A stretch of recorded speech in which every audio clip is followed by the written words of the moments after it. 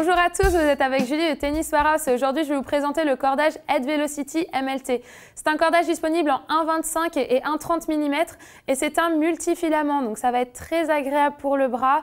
Euh, quand vous frappez un petit peu, quand vous avez des frappes décentrées, le cordage va euh, venir absorber et réduire euh, les chocs, ce qui va être très agréable pour le bras.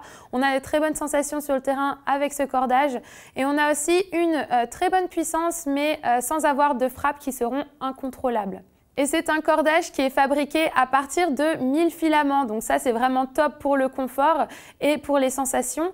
Et on a une couche extérieure qui sera glissante. Donc ça, c'est vraiment parfait pour la durabilité et pour mettre de l'effet dans la balle parce que les, cordes vont revenir en place euh, après l'impact de balle. Donc ça, ça va être parfait pour pouvoir mettre de l'effet dans la balle. Donc on a un cordage qui a un petit peu les mêmes caractéristiques que le cordage multifilament euh, Wilson Sensation.